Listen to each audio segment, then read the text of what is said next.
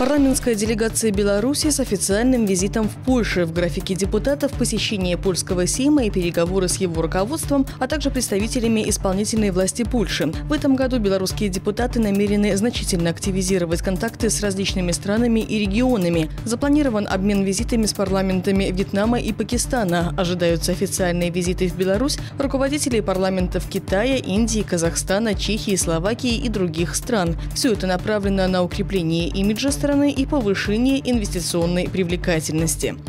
Нормативный капитал банков увеличился на 11,4% и по состоянию на 1 января составил 8 миллиардов 740 миллионов рублей. Такие данные приводятся в бюллетене банковской статистики Национального банка. Активы банков за год увеличились на 2,3%, а вот доля активов в иностранной валюте уменьшилась почти на полпроцента. Банковский сектор Беларуси включает 29 банков и 3 небанковские кредитно-финансовые организации. Иностранный капитал присутствует в 20 20 финансовых учреждениях.